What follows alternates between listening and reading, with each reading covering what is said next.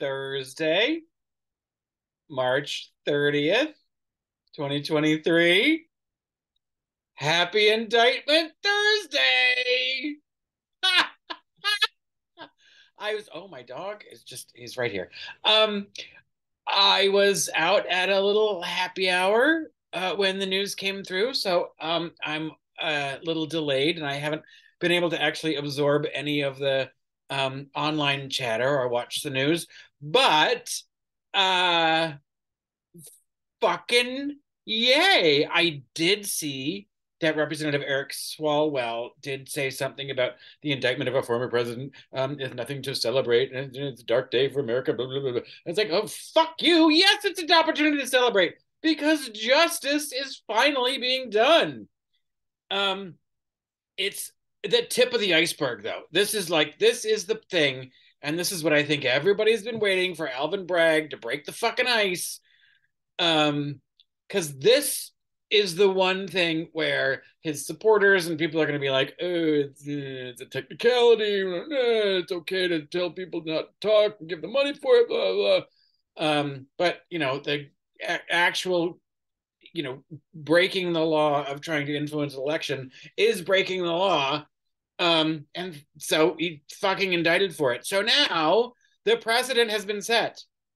You can indict a former president and maybe now a sitting one. Mm, who knows? Not the current sitting one, but you know, well, maybe. Who knows? If he did something wrong, he should be indicted. Um, but I firmly believe this is the this is the first of the dominoes. Now that he's been indicted on one charge, or whatever charges that Alvin Bragg is bringing against him, that Georgia case is like a slam fucking dunk. It's uh, uh, those recordings of him literally begging um, electorate uh, election officials to just give him votes is so illegal, and the grand jury has already um said I, I'm from the leaks from that girl who shouldn't have been talking. It's very clear that they have already said he should be indicted. Um, so he's going to be a second time in Georgia, hopefully very soon. Now that this uh, first one has happened, I know I'm yelling. I'm sorry. I'm very excited. Um, uh, well, I guess I, I wanted to say maybe I'm not excited, but I am excited.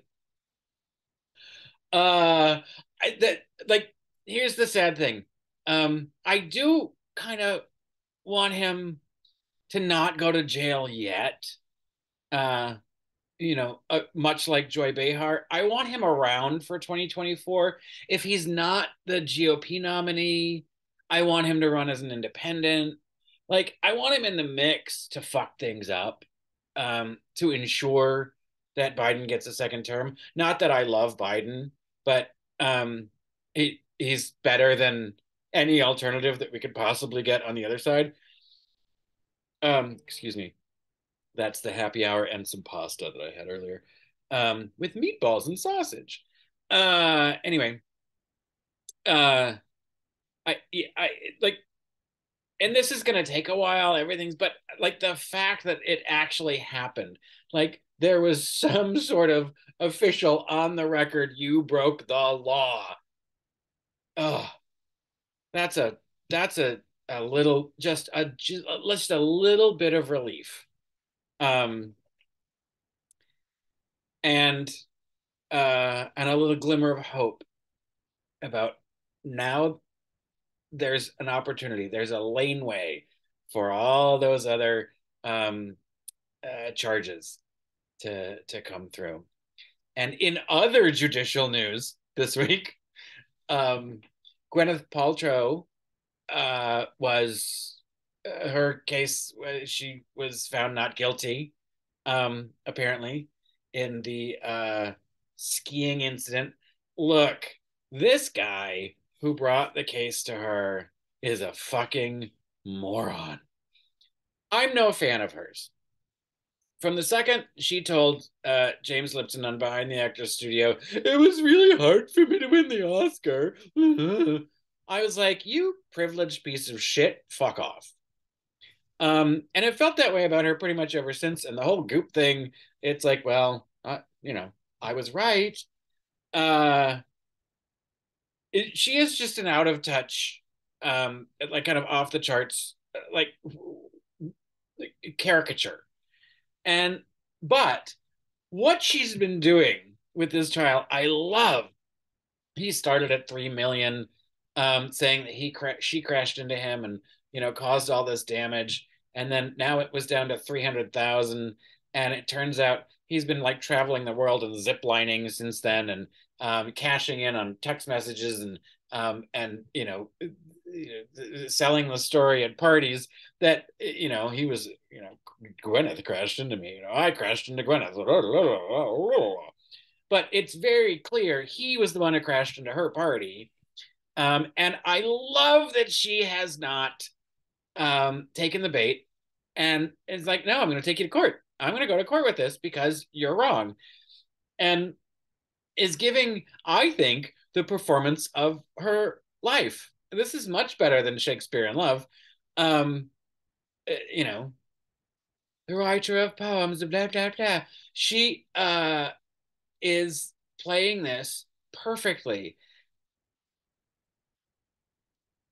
and and wearing like co- like coordinating her outfits, white on the stand and the big black cape when it comes down for the um, uh, the summations. It's like it's couture um, is what I'm calling it.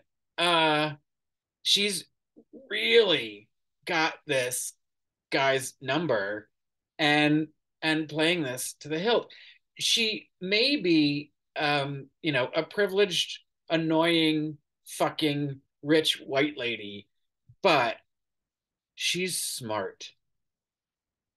She has, uh, by taking this to court and just destroying him, and his his own attorneys have been kind of complicit in destroying him. Did you see the fangirling from that that female attorney? How tall are you? Oh, oh, oh yes, you're small but mighty. Oh, but you're not small.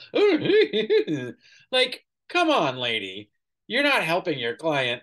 Um, and Gwyneth was just like, mm-hmm, uh huh, just playing this pitch perfectly. And apparently, on the way out, um, whispered to him after the verdict was read that, you know, she's not guilty. She whispered to him, I wish you all the best. like a fucking horror movie. Like, I'm still not done with you, motherfucker. Anyway, um, no fan, but I think that's been brilliant. So good for you, Gwyneth. Um, I hope after this we never have to hear about you again. And um, for the big giant orange toddler, we're going to hear about you again a lot because there are a lot more crimes that we are going to be exposing, and you're going to do some time. He's got to, right? He's got to. Lock him up!